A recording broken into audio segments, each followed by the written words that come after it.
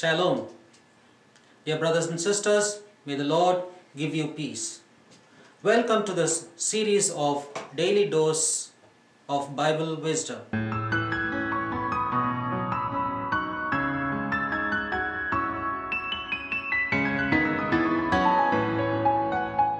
Dear brothers and sisters, today I would like to reflect with you on the tree of knowledge of good and evil. Let me read to you from the book of Genesis, chapter 2, verse 16 and 17. And the Lord God commanded the man, saying, You may eat freely of every tree of the garden, but of the tree of knowledge of good and evil you shall not eat, for in the day that you eat of it you shall die.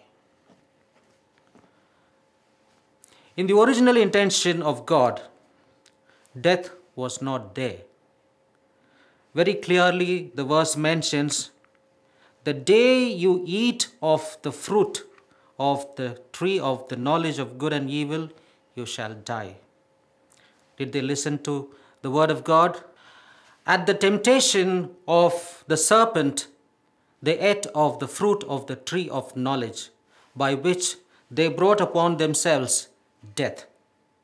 Instead of living in the garden with all the animals and all the creatures and with God in peace, they brought upon themselves death. Can this be reversed? Can human beings acquire the ability to be immortal? Is there any, possibility? Yes, there is a possibility. In the Gospel of John, Jesus tells very clearly, chapter 6, verse 53, Jesus said to them, Truly, truly, I say to you, unless you eat the flesh of the Son of Man and drink his blood, you have no life in you. What Adam and Eve tried to grab, Jesus Christ is giving us freely. That eternal life which they lost, Christ gives us freely. This is the greatest gift that Catholics possess.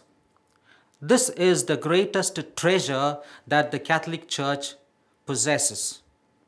I know one of my relative. He was a Catholic. Somebody came and asked him, "Were you born again?" He said, "No." Then they took him to their church and they baptized him and said, "You are born again." After some time, he had some fight with them. He left that church and joined another church.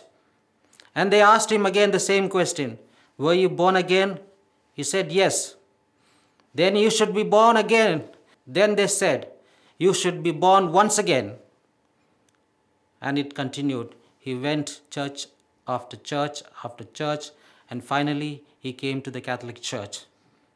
Dear brothers and sisters, the Jewish philosopher Abraham J. Heschel, he says, Man is always faced with the choice of either listening to the snake or to God.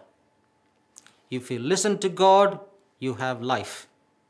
If you listen to the devil, you die. Let us decide today.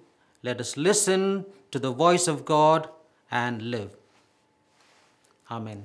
and you like this video, please do share with others. You are sharing the wisdom of the Bible with others. And if you want to watch more videos, go to the left side and click. You will have all the videos of the past. Thank you for doing this wonderful work.